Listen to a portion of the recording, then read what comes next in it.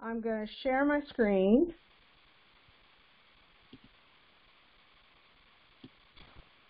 Okay. So everybody should be able to see my screen now. And what we're going to start with is PowerPoint presentation.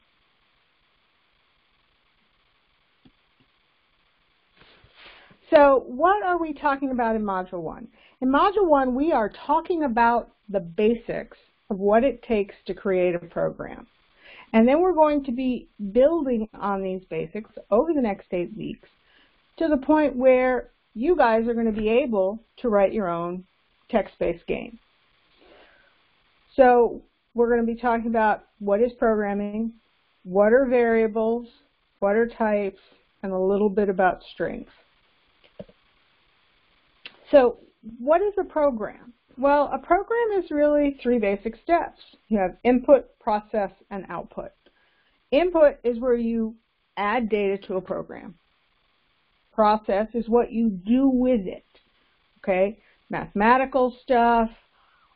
We're playing a game. I'm entering what my direction is, which it will be for the project later, and you're going to do something with that. That's what process is. And output is you are providing information back to a user, back to another program. So that's what output, and those are the three basic steps. And if you can remember those three basic steps, am I doing input, am I doing process, or am I doing output, it will be easier to learn to program. So what's a variable? A variable is a container it stores information. It stores data. And a variable has three properties. It has a name. You can call it Fred. You can call it X. Um, it's going to store something. So when you create a variable, you are actually carving out a place in memory, and you're going to put a piece of information in that memory. And then every time you want to get that piece of information, you can use the name of the variable to get it. Um, and a variable exists in a specific scope. For right now, we only have to worry about the global scope. I want to introduce it now because later we're going to be talking more about scope. So how do I define a variable? Well, I give it a name. Then I have a value but I have to associate the value with the name. And the way I do that is through an assignment operator. It is a single equal sign. And what you will hear me say probably incessantly over the next probably two to three weeks, and then I'll stop saying it, is that I know it's a variable because it is on the left-hand side of a single equal sign. On the right-hand side of the single equal sign is, in fact, the value. So that single equal sign is important. And I say single equal sign because in week three we're going to learn about a double equal sign.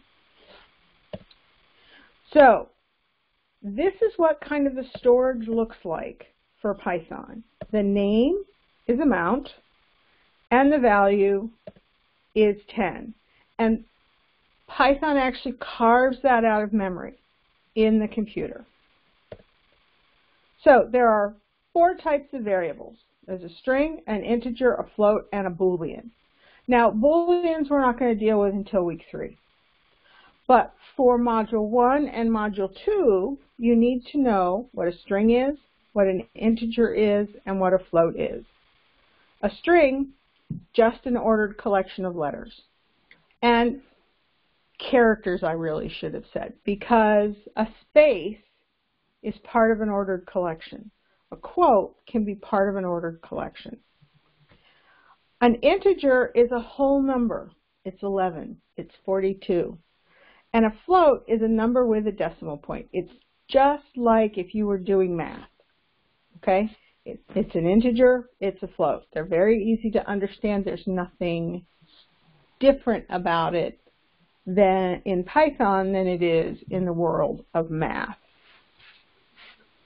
So one thing to remember, and it is a place where students get tripped up on, especially in the beginning, is that if you are using a method called input, which we will get to momentarily, then Python is going to assume that anything that comes back from that function is a string. So every time you enter data into Python, it is going to say it's a string, which means if I enter the number 11 in Python and I want to use it in, in math, then I have to convert it. So there are going to be conversion functions that we'll use, and we'll get to them soon. And by the way, you'll see down here in the slides, there's an associated script called variable.py and a Zybooks reference, which will tell you where to find it in Zybooks. So what I'm going to do right now is I'm going to stop the presentation, and then we're going to go to variable py and take a look at what some of the things are that I'm talking about. So, whoops. Okay. Come on. There we go. So what I'm bringing up here is PyCharm. PyCharm is the tool that you are going to use to program all of your assignments. And you're going to have to install it in week two. I need to turn off notifications real quick. Uh, there we go. Um, you're going to have to use it starting in week two. So I start introducing it in week one. PyCharm is a programming environment for Python, and it is um, it's it's a standard. It's free. There is a community edition that you can use. I think I just saw somebody ask a question. Can you expand Pie PyCharm, please? Do I need to make the, the, the letters bigger? Probably do. How's that? Is that better? I'm going to assume that's better. Um, sorry. Let me let me take a look at this. Ah, good. Okay. So this is a Python file. The Python file is named variable.py. It's down here under a project that I created called Module 1. And we can actually learn next week how to create a project. Um, and it has some lines of code in it. Now, one of the reasons I like to use PyCharm is because we can walk through the debugger and actually see what's happening in the code. And I find that to be very helpful. There are some people, some people that I work with, who can read about a programming language and it all falls into place in their head. I'm not one of those people. I have to physically see what's going on. So this, let me edit the configuration so we can actually look at this run. Hold on variable. Okay. So this is a Python script. That's what variable.py is. And what this has in it is some lines of code. And those lines of code do things. Now, there's a couple different ways we can run this. I can hit this little run button up here and it will run variable and you'll see that it printed stuff to the screen.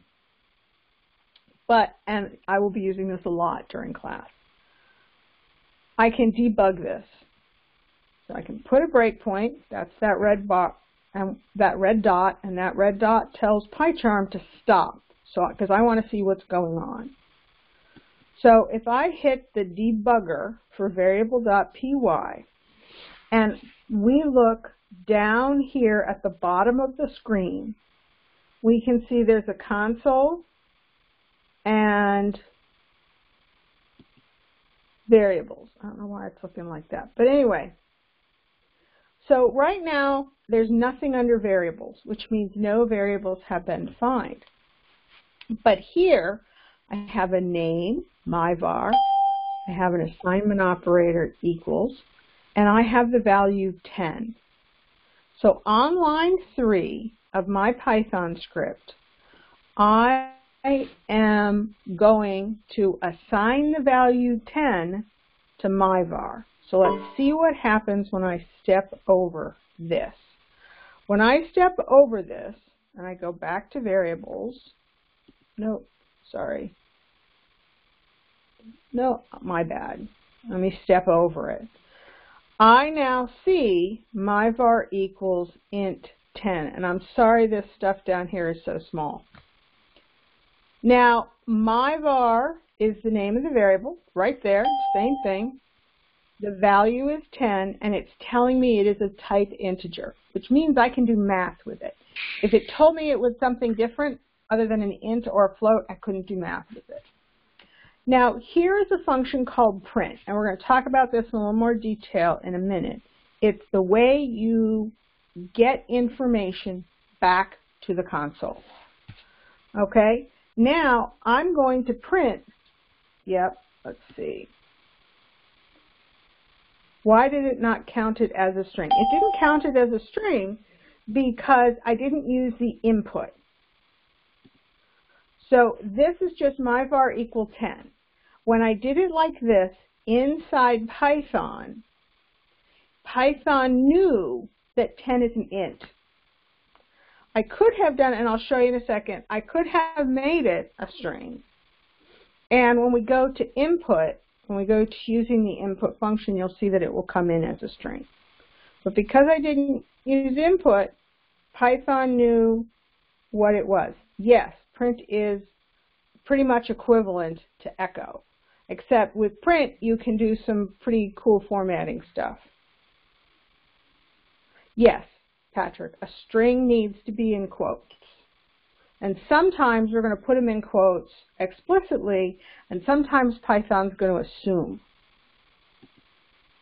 So right now, I have my var equals 10, and I'm going to step over, and what it's going to do at the console, it's going to print 10 with a space at the end, and we'll talk a little bit more about that in a minute. And now I'm going to say my var equal 12. But wait a minute, I already said my var equal 10. Well, all this is going to do is going to change the value of my var. So I'm going to step over again. I can see that my var is now equal 12. It's an integer, and I'm going to print it again. So I'm going to step over, and on the console, it's going to print 12. Now you'll see there's a 10 space 12. And then I'm going to step over it. And then it's going to print 1, 2, 3 because it came to this line. And we'll talk about that line in a little bit. But I wanted to introduce to you what a script could look like and begin the discussion of talking about PyCharm. What is a step over? Good question, Joseph. So, in PyCharm, which is, by the way, PyCharm is an integrated development environment for Python, IDE. So in most IDEs, you can either run, run the whole thing like this. So this little button is run, and variable is the name of my PyCharm script and I just ran everything. Or I can debug it, which means I can actually see what's happening at every line of code. And right now, this may not seem like a really neat thing, but when you start getting into branching and looping and more complex programs, it's a huge benefit to be able to actually see what's going on line by line. So if I hit this little thing up here that looks like a bug, and you'll see debug if you hover over it, down here all this stuff changes, and I get this control bar up here. Now the only one we're going to worry about is step over, and that just tells PyCharm to execute the line of code that I am currently sitting on. So the red button said stop here. Hey, PyCharm, don't go past here until I tell you to by either telling you to step in or step over. I know what line of code I'm on because uh, it's a blue line. This is, this is the only time you're going to see this blue line. And this blue line is because the interpreter for Python has stopped on that line of code. And it's not going to execute it and you until you tell it explicitly to execute it. So step over means execute the line of code and go to the next line of code. So I do that. By the way, the other nice thing with PyCharm is it tells you up here what's happening. Let me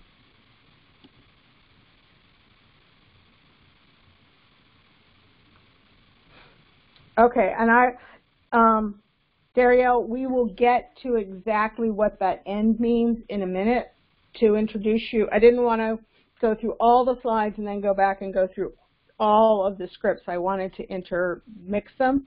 So there's a few things we haven't gone over yet, but we will.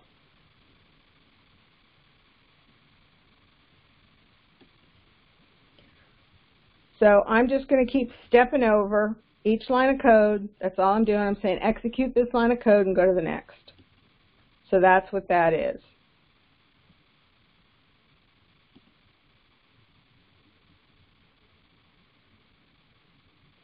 A absolutely great, Kendall. Very good. Um, there's a couple good ways to practice coding with Python. You can go to PyCharm, Codecademy. apparently has, I have never used it, but some students have said that Codecademy has great practices for Python. Um, so those are some of the good ways to practice that I've heard about. So we're going to go and start and go to the next slide. Okay, converting types. Down here is this Zybooks reference. It's section 1.13, and there's convert.py, which we're going to go to in a minute. You can convert one type to another. So I can say, oh, I have a string that's 11, but I want to use it as an integer. And the only way to do that is to tell Python, hey, I know you've got this thing as a, a, a set of characters, eh, because that's what a string is, but I want you to really turn it into an integer because I know it's an integer. Or I want to turn a, a string into a float. Or I can turn anything into a string. Now it's important because when you do the output stuff, all your stuff's going to have to be strings. So that what converting types is. You can change one type to another, except for Boolean. You can take a, change a string to an integer or a float. You can change an integer to a string or a float to a string. And you can change an integer to a float, but you don't have to do that explicitly. Python will do that for you let's say you multiply an integer times a float, you will always get a float. So that's an implicit type conversion. So let's stop for a minute. Debugging allows you to go through each line to check for errors. Yes, it does. It also it allows you to check for logic errors and syntax errors. Um, for students that are more hands-on learning, I would suggest that you go to a site like Codecademy or you, um, well, from, from the class perspective, you can do the challenges. Now, just to, just to bring this topic up, the challenges are not required for this class. It is strongly encouraged that you do the challenges, but they're not required for the class. So if you're worried, if, if you're in a time crunch and you're concerned about your grade, you don't have to do the challenges. You only have to do, the only things that are graded in Zybooks are the activities and the labs. That's what you have to do. So if you are more hands-on, one of the things you can do from, a, from the perspective of the class is simply do the challenges. Work through the challenges to get the right information. That is a more hands-on way. Go to a place like Codecademy. That's a more hands-on way. I don't know of any other sites than Codecademy for free hands-on tutorials. Um, but I think between those two, and by the way, I am a much more hands-on learner. I'm not one of those people who can figure it out just by reading a book. Okay, that's okay. All right, I struggling means that you're learning some. Um, and we will go over the labs. And if you want to, before we end this class, we can go out and work through a challenge or two that are are causing you struggles. Okay? So, you know, vote for the challenges that you want to do. Maybe we'll pick two and we'll go through those challenges at the end of the class so that um, you can struggle less. Let's see. Um, so the labs assignments are auto-graded by Zybooks. Now, I don't know, um, I will go through lab 1.10. We won't code it, but I will go through the process of it. In fact, I'm going to go through the process of all of the um, labs. Um, the auto grading. So, so here's the requirement for the teachers. For the activities, the participation activities, Zybooks gives us a grade, and we, we're supposed to use that grade. For the labs, and, and I know this for my class, I cannot answer for any other professor. I go through and I look at the labs, especially the labs where students have not been able to um, complete the lab 100% successfully. And what I do is I go through that and I look to see if what kind of effort has been put into it. How close are you? and I will provide partial credit. But also, Zybooks provides partial credit. So even if you don't get it 100% right, and you there were 10 test cases and you got 6 out of 10 test cases, you still get 60% of the points for that. So always try the labs. Always try them. Get the activities done first. Any of the labs that are easier to do, do those labs first. You're looking for low-hanging fruit. What's the easiest for you to get your points? And then go back on the harder things and do those. So that's kind of my take on the class.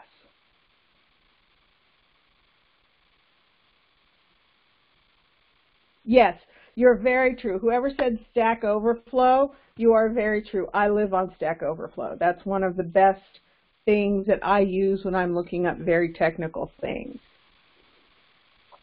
Um, so yes, David, that's very true. Okay, so submitting, um, so the um, sub, what are you're submitting for grading, okay? There is kind of two parts to that question you can do the activities and the labs over and over and over again in any given week. And you won't be graded down for that at all. You can do the activities and then come back later and try some other activities. And I can't um, answer for anybody else other than my class. I, as the professor in this class, do not have a problem if any programmer in my class goes out to PyCharm, goes out to python.org, or goes out to Google and looks for help in figuring out a specific aspect of a lab. Because I do that as a programmer. I'm writing a paper right now on, on some very technical things that um, we're being required to answer for one of our customers. So I have to go out and I have to research some of those highly technical cryptographic things. I go out on the internet and because I don't know everything about that. And I don't expect you to know everything about that, at least in my class. So go out and Google. If you're in my class, email me if you have a question. I can't answer for any other professor. I can only tell the people in my class what I do. I never downgrade a student because they went out and went above and beyond. So if you find a more efficient and better way to do to get the right answer, I applaud you. Go and do that. I will never grade you down because you decided to go out and find a module and import it and do it in one line of code instead of four. So, but for all the students, I cannot speak to other professors. Um, so I hope that answered the question about how many times. And though the second part of that question is, you can then go out and um, you have two additional weeks to go back and change things. And you will get taken off. There will be late points taken off. So you kind of have to weigh. But if you are having a lot of problems in a given week, you have two additional weeks to kind of add points back. So remember that. Um, the only time the attempts are limited on the labs is after you submit them, but I still actually think you can submit them multiple times.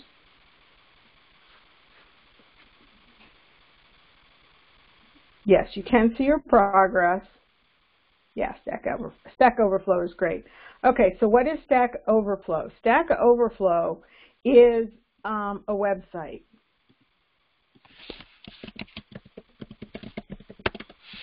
Okay, this is Stack Overflow.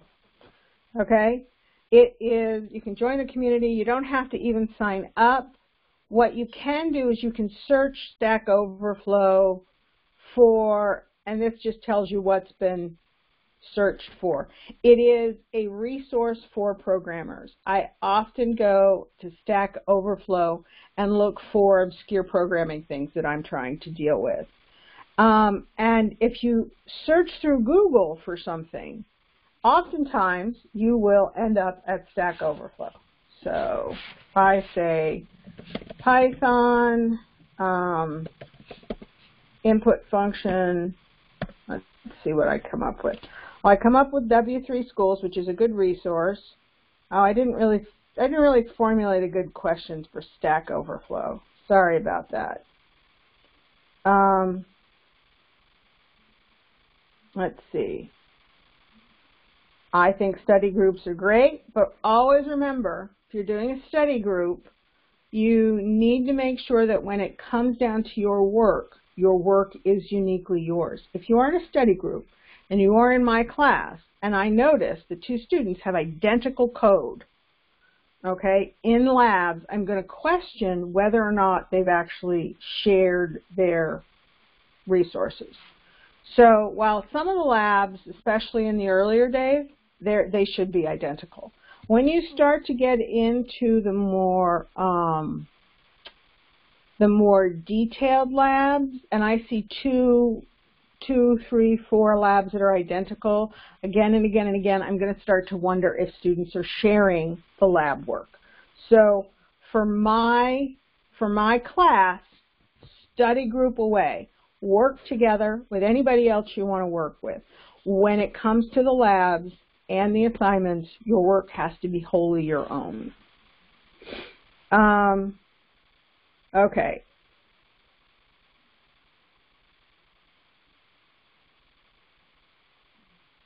Okay, so what the prof will see on her and Kendra, if your last submission was 100%, that's what the professor will see on her end. She will see 100. Professor, he or she will see um, 100%.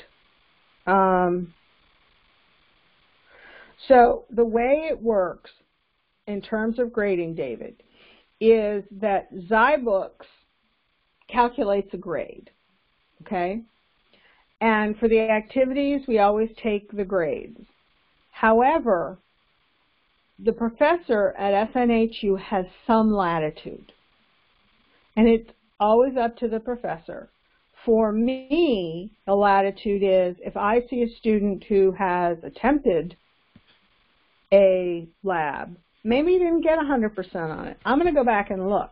And if the reason they didn't get 100% on it is that they were missing a space, I'm going to provide, I'm going to up the grade because the code is there, but Zybooks didn't necessarily catch that they were only missing a space.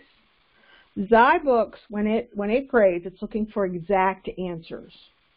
So if you're missing a space, if you're missing a decimal place, then you're going to have a problem in Zybooks. So for me, I go back and I look. Um, so I think I've answered all the questions. And where were we? Sorry, I got to go back and look. Where were we? We were converting types, and I'm going to go to convert.py, and this class is probably going to go past 10. So let's go to convert.py and talk about converting things. Okay, so I have to work tomorrow. I'm not going till midnight, David. Okay, so let's go back and talk about converting. Okay, so here's an input function, and we're going to go in detail into the input function in a minute. Let's see. Is the higher grade taken down out of multiple lab submissions? If those lab submissions are within the week that the lab is due, there is no markdown for multiple submissions. The teacher won't even know you've done multiple submissions unless they actually go back in and search for your particular solution in Zybooks. Um, okay, when that happens in Zybooks, is that where syntax errors come from? Not necessarily. Syntax errors, yes, the labs are due on Sunday. Um, syntax errors come from not understanding the syntax.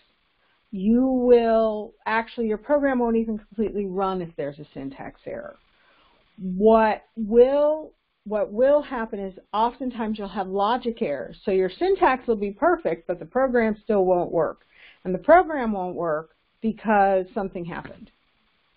We don't know what the something happened was, and that's where you have to go and look. And in past courses, I have had students copy their Zybooks code into PyCharm to check through the debugger where the logic error is.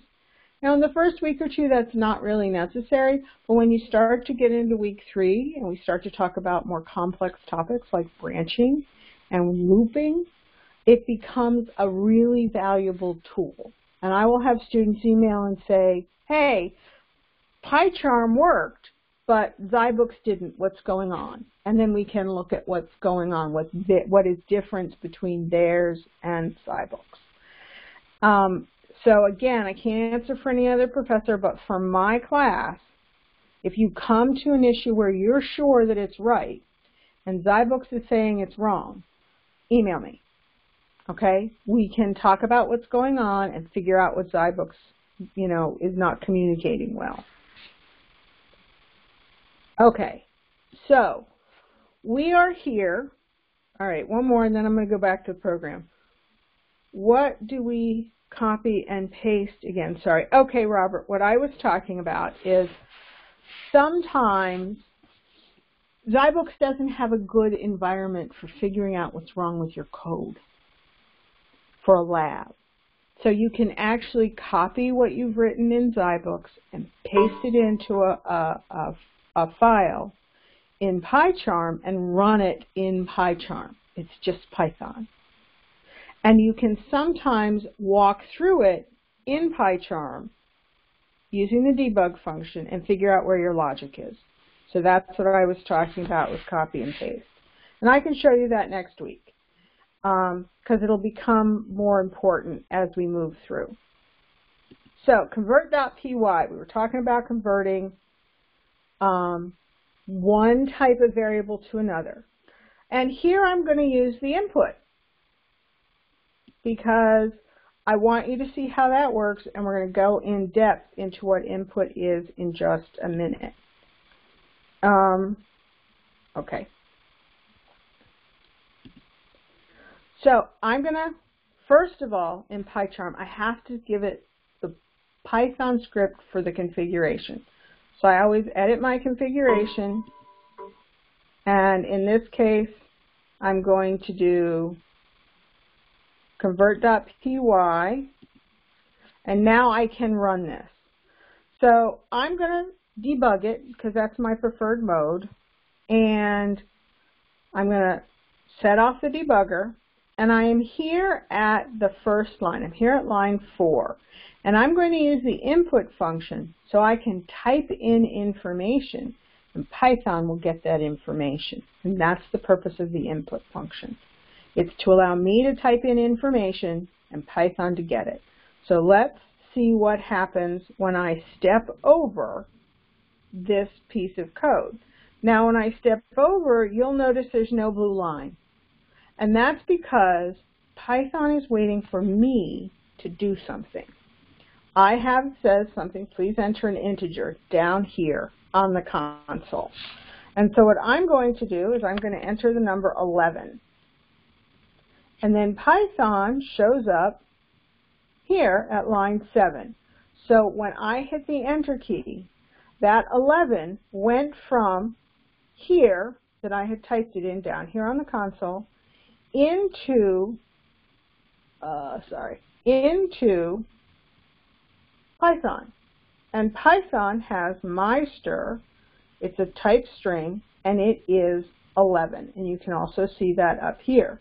Now, I know it's a string visually when I look at it because it's inside quotes. I will never be able to use an 11 inside quotes as a in, in, in mathematics. So I have to convert it. And the way I convert it is to use something called the int function. The int function just says, take a string and make it an integer. That's all it does.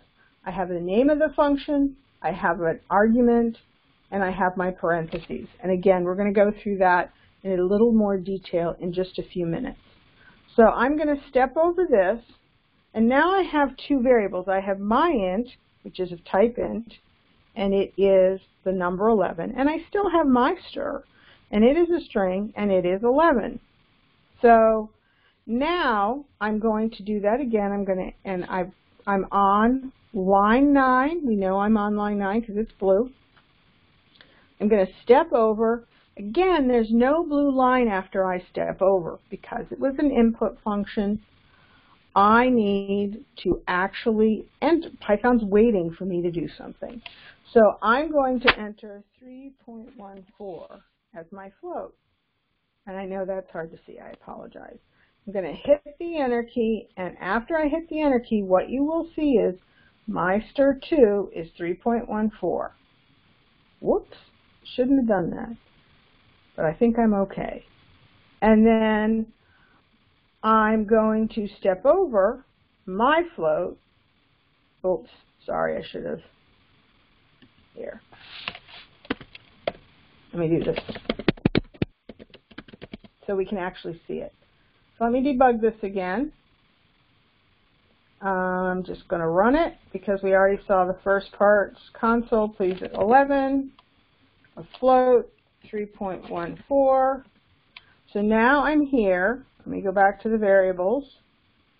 When I step over, I have a line to go to. Before I didn't have some place for it to land on, so it stopped the program. Now I have a float called my float, which is 3.14, as opposed to a string, which is 3.14. So that is converting.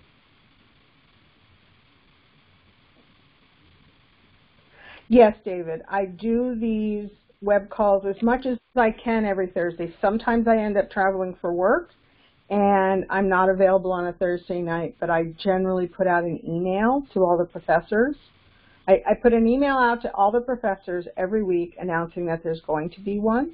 And if there's not, I put an email out that directs students to my YouTube channel, which has previous lectures uh, for all of the sessions. Um, and I will also post these recorded lectures to my YouTube channel. Um,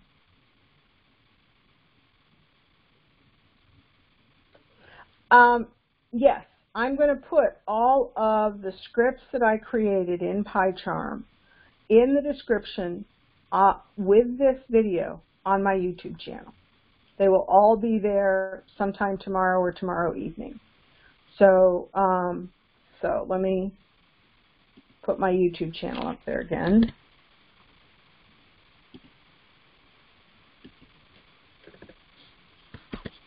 So that's the URL to my YouTube channel. Um, I use free conference call for all of my um, for all of my lectures. So let's go back and continue on.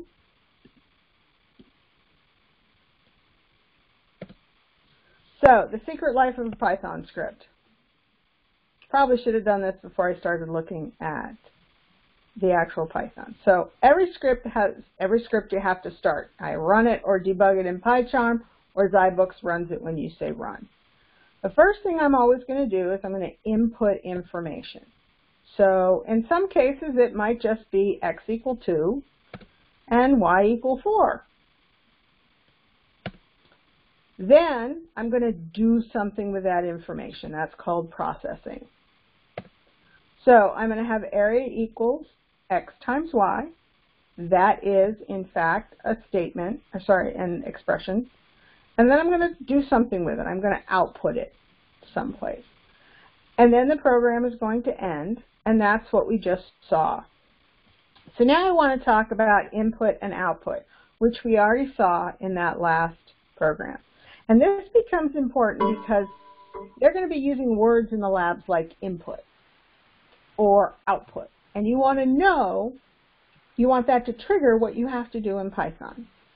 So input is a special function provided by Python. Get it for free. Um, and it allows user to add data to a running script, which is what we just did.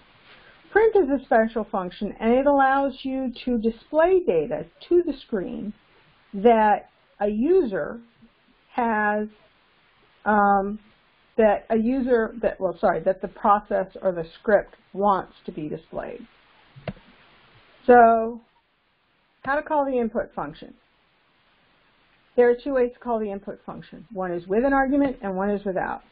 So this is the way you call it without an argument. You have a variable name, you have the assignment operator because what we're doing is we are assigning the result from the input function to a variable because we're going to want to use it later.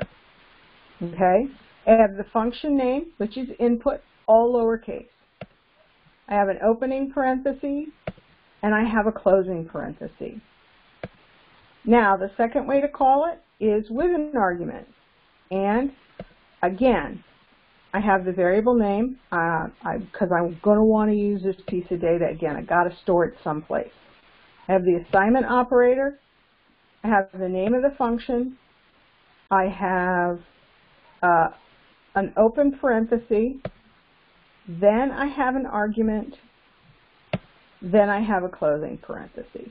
So you see a couple patterns here. One of them is that you've got these open and closing parentheses, and one of them is that I'm always going to assign the results from the input statement to a variable. Okay, so here's a rule. For every open parenthesis, you must have a closed parenthesis. Okay, it's called being balanced, and if you don't, you will get a syntax error. So always, if you're having some, if, if you've got a syntax error on uh, an input or a print or any other function call, first Always check that your parentheses are balanced. You have the same number of opening parentheses as you do closing parentheses. Okay, how to call the print function. The print function can be called with a single argument or it can be called with two arguments. So, the first way to call it is with a single argument. Now you'll notice in this line of code that I wrote that there's no assignment to a variable because there's no output from print. There's no way to get anything in from print back into the program. Print is all about output. Print is all about directed out of the script. So we have the function name, We have an open parentheses, we have an argument, we have a closed parentheses. All right, now we can call it with two arguments. We have the name of the function, which is print, open parentheses, the first argument, a comma, the second argument, and a closed parenthesis. So, and I'm probably going to sound a little bit repetitive here when I'm talking about parentheses and arguments, but it is important that we remember the order because it's going to help us not have as many syntax errors later. So, we have our rule that for every open parenthesis you must have a closed parenthesis. And now we have a second rule. Arguments are separated by commas. So if I have argument 1 and argument 2, there has to be a comma in between the two. So those are the two rules.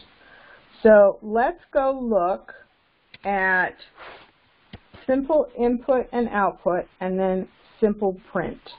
Sorry, simple input and simple print. What's going on here? Um, there are no dumb questions, Michael. It doesn't matter if it's a single quote or if it's a double quote. But if you start with a single quote, you have to end with a single quote. And if you start with a double quote, you have to end with a double quote. So that's important. And if you have quotes inside of quotes, you have to do some escape things. No bad. There's no, nothing bad, Kendall. It's all good. Yes, as long as they match.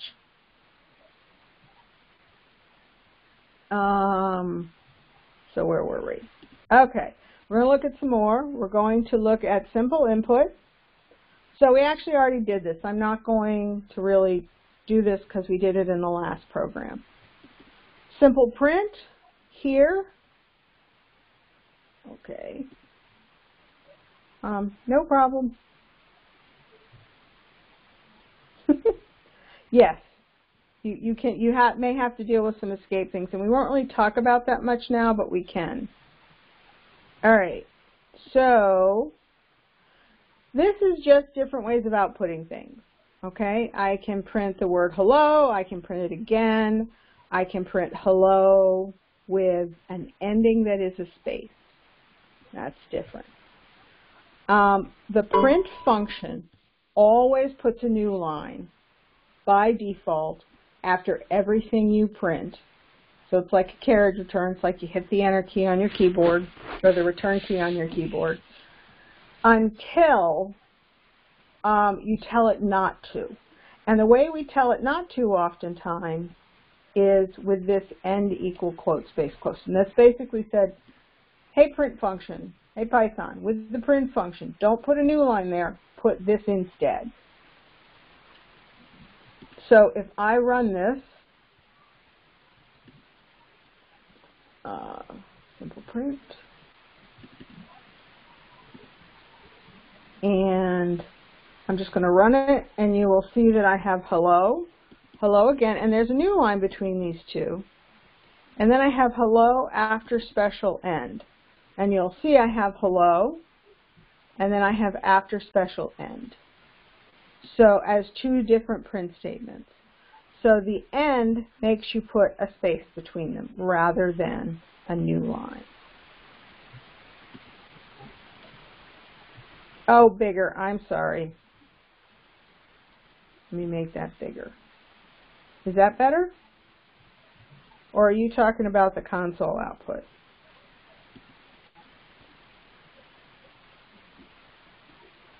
Could you write all that in argument? Do you mean, Michael, in a single argument? Okay. Without the end. Yes, I could do that as a single one. Um, it's important to know that the end exists because you're going to have labs where you're actually in a loop and you're going to have to not have a new line. You're going to have to have something else. So we're introducing it now. Um, and what you're exactly right. What within that script, I could have just put it all on one line. But there are instances where you won't be able to. So um, it's important to remember that you can change the ending. Okay, so let's go to the next one. Okay, sorry, we just did all this. Go to the next one. Okay. Where does input and print fit? And I'm, I'm answering this question because when we go through the labs, you need to remember what what terminology goes along with what functionality in Python. So I have my input process and output. I'm going to start input, process, output, end. So an example is of input is input, please enter a value.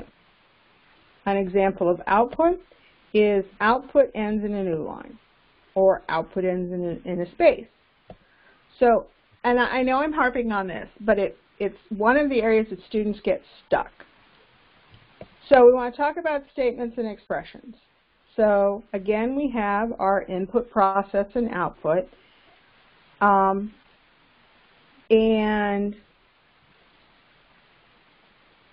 so what we have is we have a statement which is please enter an integer and another statement that says please enter an integer.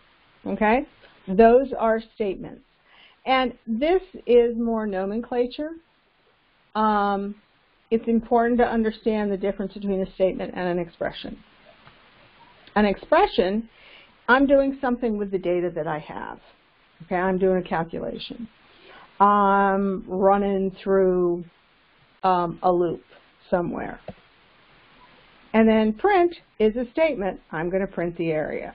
So this is just a simple script where you would take in information and print out the area.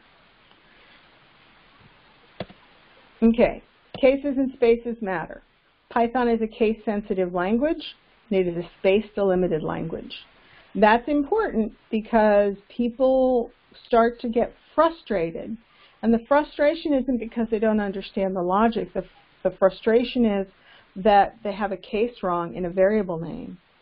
And all of a sudden, things don't work. So, what I mean by case sensitive is that if you have a lowercase x equal 2, it is not the same as a bigger case x equal 2. Those are not the same variables in Python. They're different variables. This is a lowercase, that's an uppercase. So what does it mean to be space delimited? Space delimited means that Python knows the end of a line of code, the end of an, a statement or an expression because there's a new line after it. And when we get into weeks three, four, and so on, there's also going to be indentation that becomes important. Right now, everything is less, left justified. In week three, that, that changes. So I have x equal 2 and y equal 4. That is completely valid Python.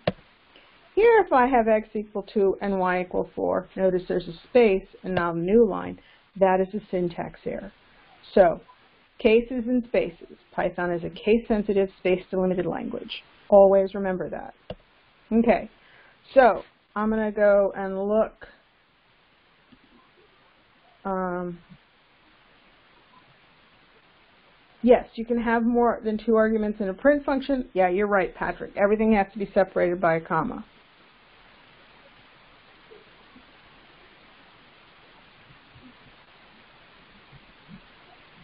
Okay, so we'll talk about it a little more later, but the colon is a way, it's like a question mark. When we were writing a sentence or a question, we put a question mark after it, David. The colon is equivalent to that question mark.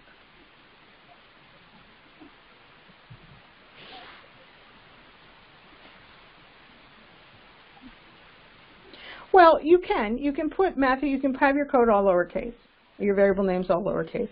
You can have your variable names all uppercase. You can have them camel case. But you have to make sure that the right, um, that, that you understand that if you have a variable with it's all lowercase, and then another variable of the exact same letters but uppercase, they're going to be different variables. So let's look at, where is it? Cases and spaces. Okay. So here you'll see I have my example. Lowercase x equal to, uppercase x equal to. Let's run this in the debugger really quick. Okay.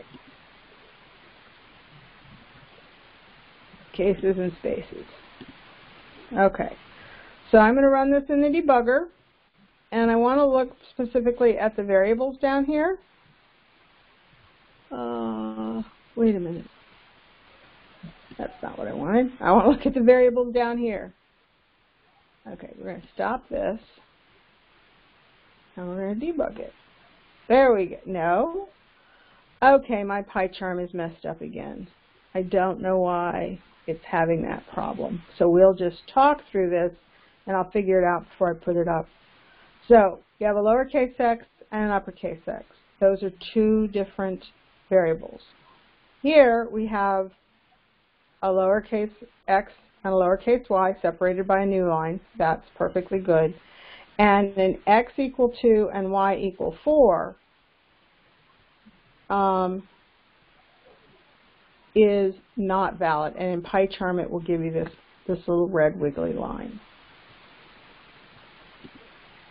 Okay.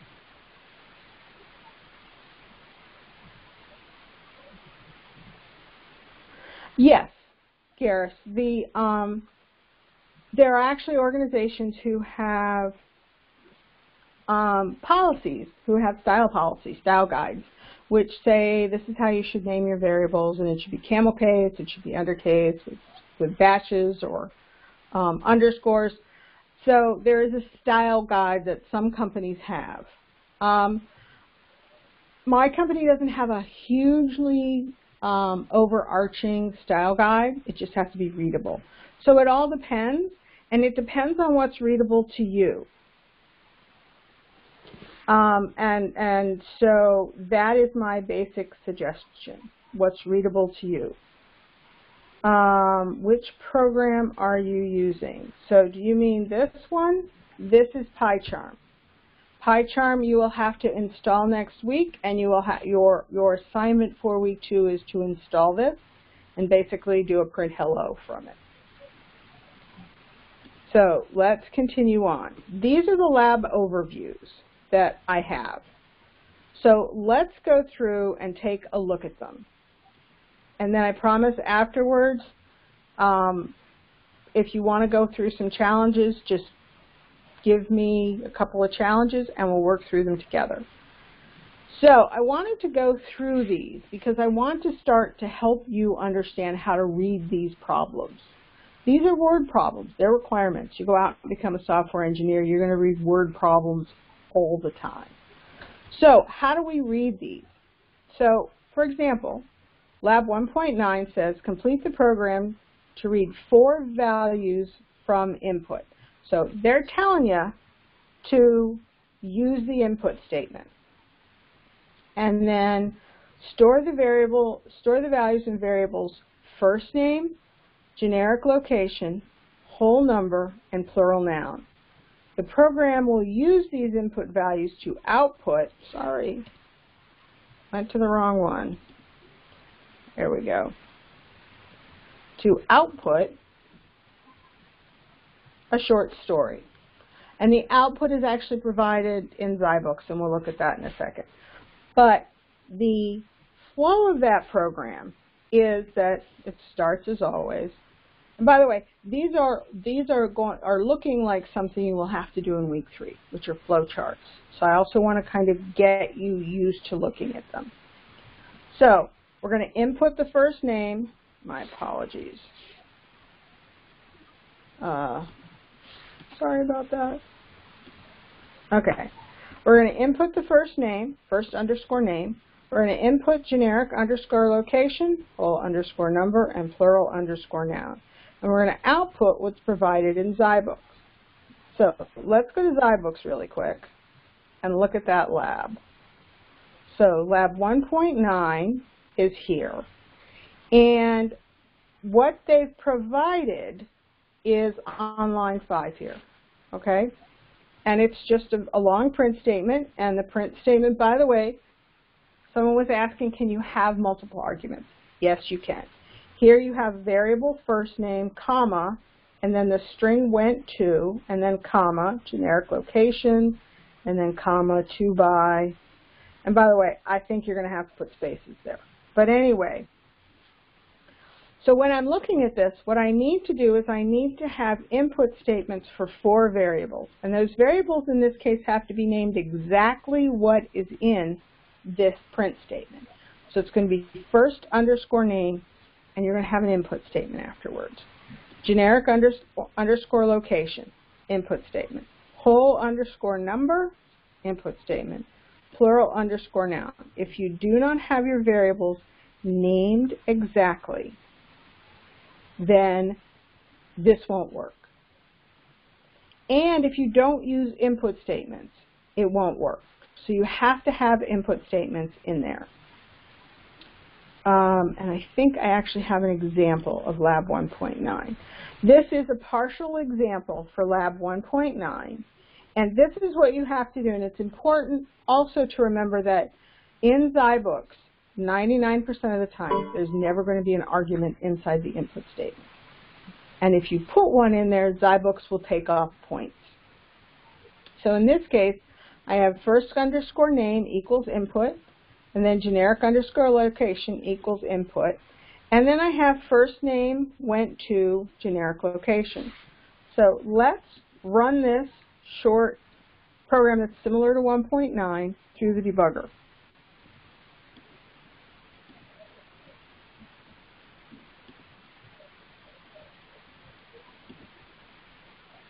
On, computer. Okay.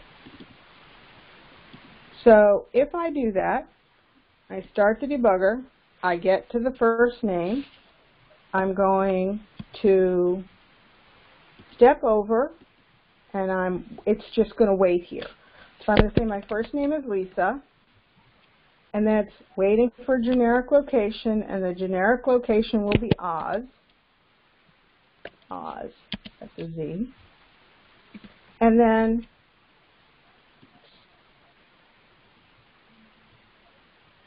oh wait a minute, I didn't step over. My bad. Okay. So then it's going to be print first name went to generic location to buy. And my brain is shutting down. Okay, Lisa went to Oz to buy. So you'll see that first name is first name, generic location is generic location. So if you expand this into the other two variables and the remainder of the print function, you should not have any problems with the lab.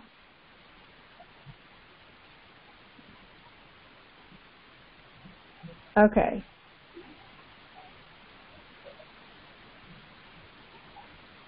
When you mean input statement, do you mean input open print? Yes. I'm calling the input function. So when I say input statement, it means I'm calling the input function. So it's input open close parentheses, open parentheses, close parentheses. Okay, so Zybooks will take points off oftentimes for spaces because it's looking for an exact string match and it can get very frustrating. Do you have to do four lines for it to work? Yes, you have to have four input statements, four separate input statements for this to work. Okay, so for Zybooks, you won't actually put anything in. Zybooks is going to put it in. So you're just going to write the code, and then you're going to run the program. And when you run the program, it's going to display the output here when you in develop mode. When you go into submit mode, PyCharm is going to run your script multiple times with different data to see if it really works well. And that's normal, and it's what we do as programmers. We actually spend a good part of our day writing test code that actually goes out and tests the code that we wrote. And it makes for a higher quality product. So that's what's going to happen when I'm showing it to you in PyCharm, I'm doing it because I can't show it to you in Zybooks. I share this Zybooks with all the other professors that are teaching IT 140. So if I go out and change it, it changes it for all the professors. So it's not like you guys who have your own individual Zybooks. This is a shared Zybook. So I cannot show you what's happening in Zybooks. What I can do is I can explain it to you through PyCharm. I can explain the process through PyCharm. So that's the difference of what's going on when I show it to you in PyCharm and what's going to happen when you do it in Zybooks.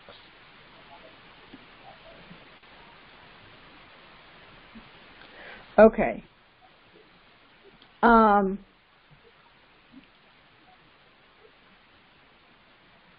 we will review it. I have reviews for all of the different um, yeah, I have, we're going to review all of the different labs. Um, my suggestion is to um, try it out in Zybooks first, Michael, and then if you start to have problems, you start to have syntax errors, put it in PyCharm. And then use the debugger in PyCharm and then send it back to Zybooks. Copy and paste it back into Zybooks. So that's what I would suggest. So let's go look at the next one and I'll make it bigger. So now we have lab 1.10. So they're talking about a variable called usernum and you're going to store, you can store a value like an integer. So what they want you to do is, and what they don't say explicitly here is, you got to have to have an input statement for usernum and then you're going to have to convert it to an integer, okay? So you're going to output the user's input. So what they want you to do for the first two points is output usernum, just as it is. Then they want to output the input, so they want to output usernum squared and cubed, okay? And then they want you to kind of do this again, but with usernum 2. So you're going to input to a variable called usernum2, and you're going to output the sum and the product. So this requires a couple of things. Okay, What this requires is you have to input the value, and you have to convert it. Okay, This is where that type conversion comes in, because you can't do arithmetic with a string. And because you're using the input statement, it's always going to be a string. So you're going to input things and output things, and input things in a certain order and, and calculate them and then output them. So you input and convert to an integer. You output, sorry, you input usernum and convert it to an integer. You output usernum. Then you're going to output usernum times usernum. And because of this output, you have to have done the conversion or you're going to get a type error. And I will show you what that looks like in a minute. Then you're going to input user num2 and convert it to an integer. And then you're going to output user num2 plus user num2, and then you're going to output user num2 times user num2. And then the program's going to end. So let's take a quick look. Yes. Um, it usually only lasts an hour. Um, I'm kind of, no, Juan, we're not going till midnight. My brain actually at 10 o'clock starts to slow down. So it, I usually try and keep things to within an hour. Um, there's a lot of people and a lot of questions, and I want to get to what everyone has. If you cannot stay, that's completely fine. I will be here until the last question is answered, and it will be recording until the last question is answered. So this will all be on uh, YouTube. However, if everyone decides to drop off right now, I'll stop talking. So somebody's still got to be here. Anyway, so that's kind of how it works. I usually try and keep it to an hour, but there's a lot going on tonight, so we're going to go over. so for 10, I also have a simple lab for 10, just to kind of give you guys a little bit of guidance. Okay, so here um, so here I have enter a number. This is similar to 10. It's not the exact 10. And then I'm going to output that. Now here's something different that you haven't seen before. And here I am doing the conversion to an integer. At the same time I'm doing the input. what this does is Python starts inside the deepest parentheses. So I have an integer function call, open and close parenthesis, and inside that I have an input function call as my argument. And this is completely legal. I can absolutely do this. And I can, let's edit the configuration.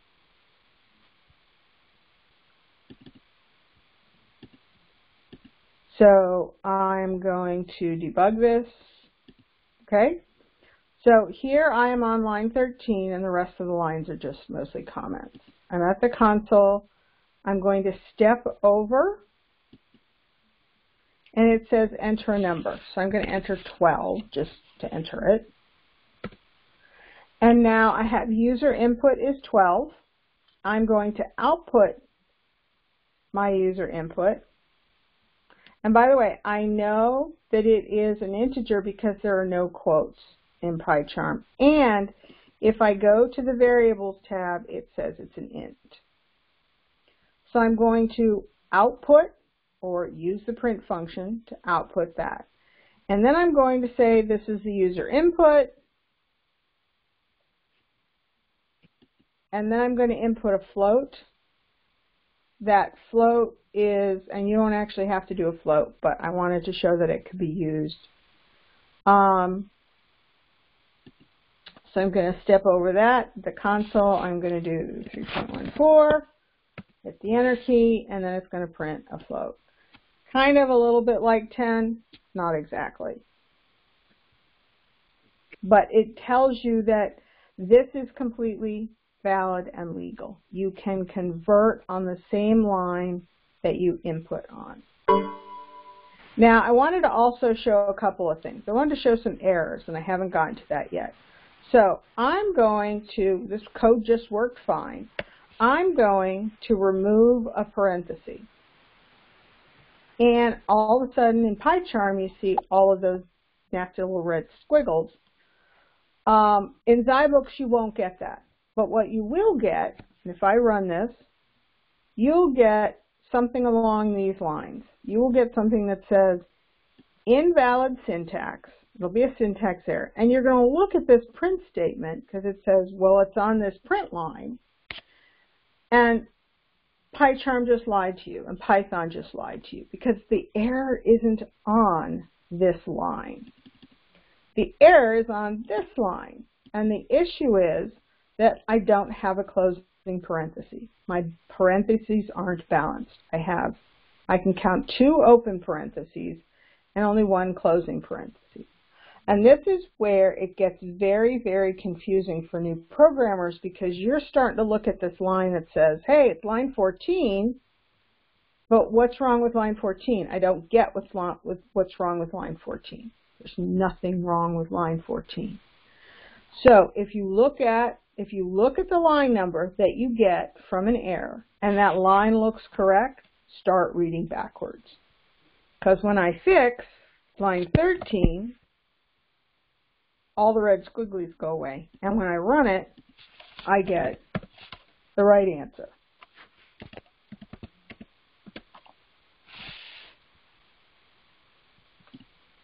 Okay.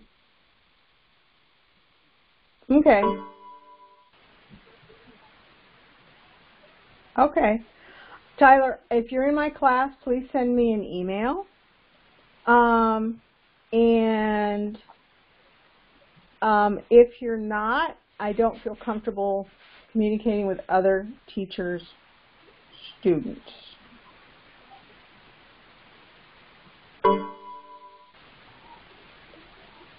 The format and the, the format that we see is actually um, a way of outputting variables so that um, you can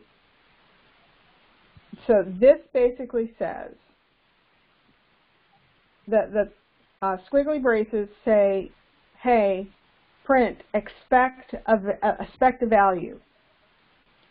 And then the colon dot 2f says expect that value to be a float and put two decimal places after the float. So make sure you only print out two decimal places. It could have 100 decimal places, but you're only going to print two. So that's what that means. It is a, a, way of formatting your output, and we will do more of that as time goes on.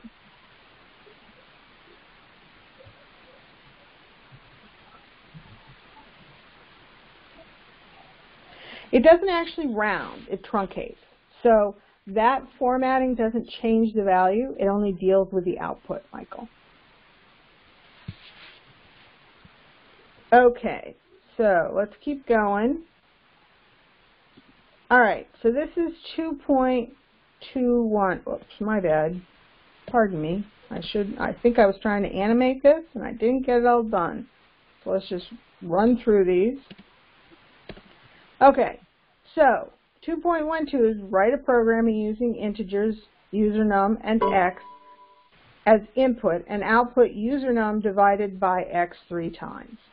Okay, so we're going to input and convert to an integer. We just saw how to do that.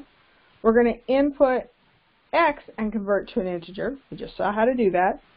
Now I'm going to set usernum equals usernum divided by x. And I'm going to output it. I'm going to do it again. It's the same code, same exact same code, but you're going to have to copy the line. And you're going to say usernum is usernum divided by x and output. And then usernum is usernum divided by x and output it again. So that's the process of this program. Two inputs, three outputs, and three processes. Okay, so you're going to set usernum is usernum divided by x three times. Okay, so this is 2.12. And you're going to write a program using inputs year, input age, weight, heart rate, and time, respectively. And you're going to output the average calories burned for a person. Output each floating point value with two digits after the decimal point, which can be achieved as follows. That's that open squiggly brace colon dot 2f squiggly brace. And so what that does is that just because we're using floats as part of our calculation, and the calculation, by the way, is given to you in Zybooks, you, you don't want to print out 100 decimal places after. You only want to print two, and that's what this does. So use the print statement as they've given it to you, and name the variable that you are using for the, the expression as calories. So you're going to input age and convert it to an integer. You're going to input weight and convert it to an integer. You're going to input heart rate and convert it to an integer. And then you're going to input time and convert it to an integer. So all of these are input and convert. And then you're going to set the variable calories equal to the expression provided by Zybooks. And you're going to output calories using that statement. So let's go real quick and see what Zybooks gives us. Okay? So, actually, let's do this. Um, divide by x. That's not the one that I want. Calories burned. So, Zybooks is telling us what the calculation is. So, um, and this is where cases can matter. So if you want to use this line exactly, well, you can't use it because there's heart space rate, and you can't put a space in a variable name. But you want to use this, but replace these with your variable names. And then you're going to want to use this print statement. So if you want this print statement to work, your, your calculation has to be uh, sorry, the variable that's going to take the result of your calculation has to be lowercase calories. So you will have to do some work because this cannot be a valid variable name because there's a space in it.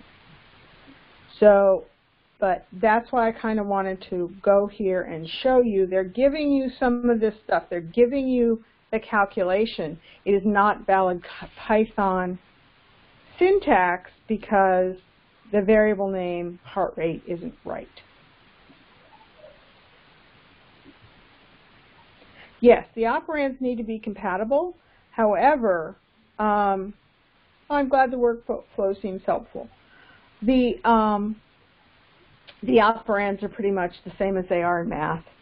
I mean, you do have uh, modulo, and you do have the floor operator, which we're going to be using soon, which do not exist for normal mathematics, or at least as far as I know. Um, so let's go back and do 23. So here we have, we're going to prompt the user for input. It's going to be an integer between 23 and 126. Now this is important because of the ASCII table. Um, you're going to input a float, a character, and a string. And then you're going to output those four values on a single line separated by a space. Expand to also output in reverse, and then, sorry, extend to output in reverse, and extend to convert the integer to a character by using the char function. It's just like the int function or the float function, and then output that character.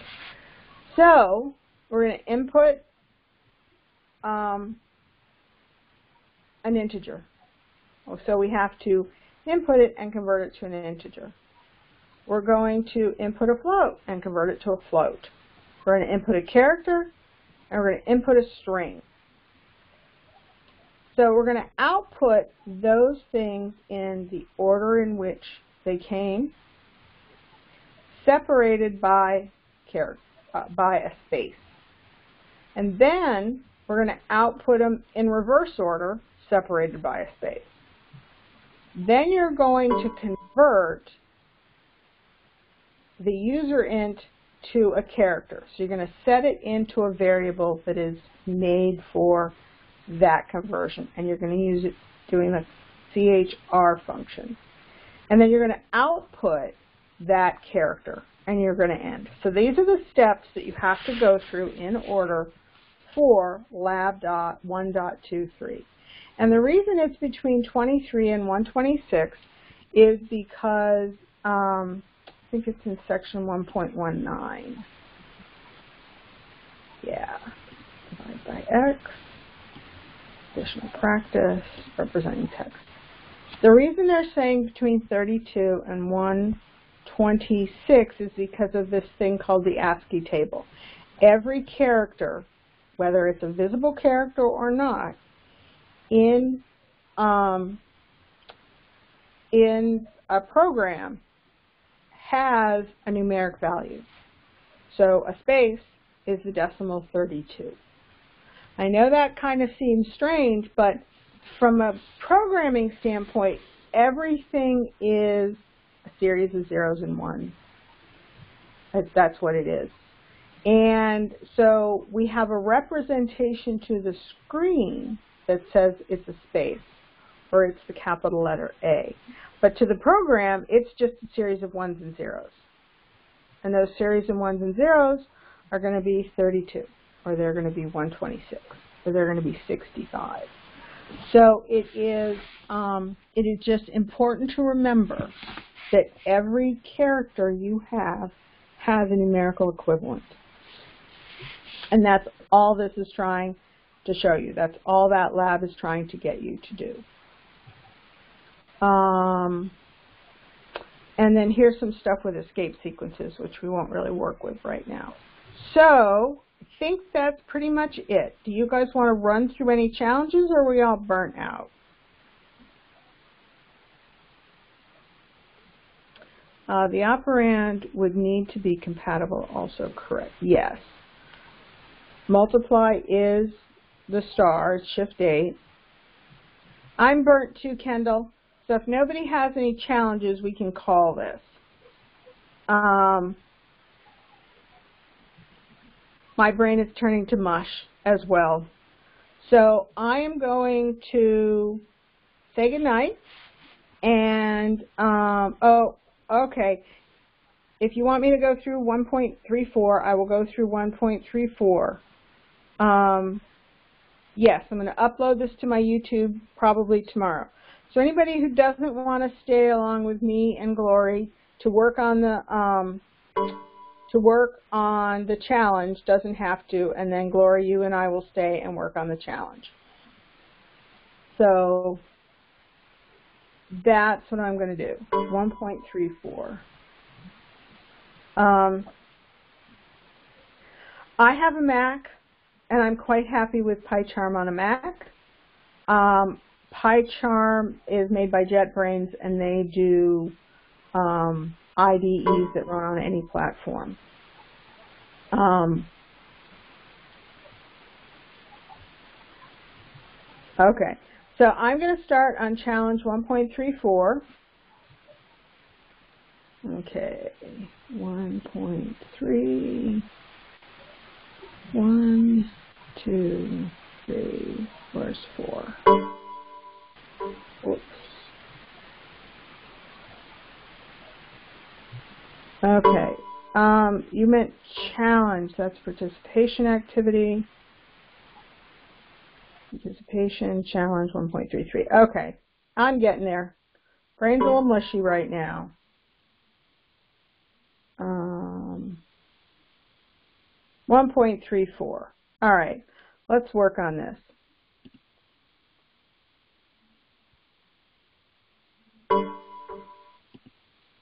Oops.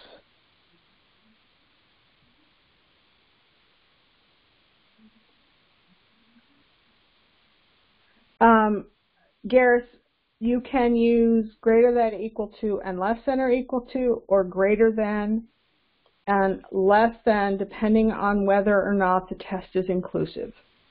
And we will actually go through that in week three.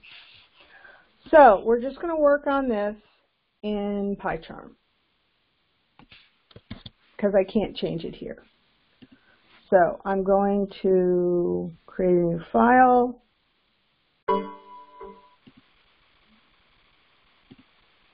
Create a new Python file.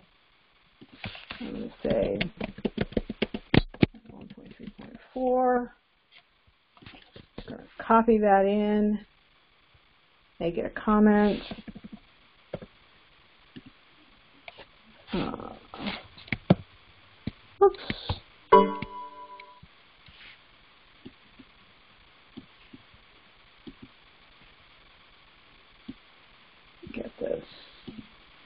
Come on.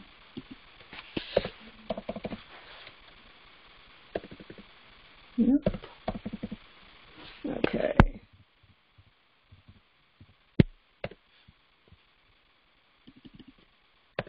Okay, so that's a nice big comment now. So it won't interfere with our work. So it said, read two numbers from user input, then print the sum of those numbers. Okay, so let's do this. So I have two numbers. I'm going to just define two variables. I'm going to say num1, and that's going to be an input statement. And I'm going to say num2, and that's going to be another input statement. Let me make this bigger. My apologies. Okay. Now, if I did it just like this, let's, let's just start with this. And then I print,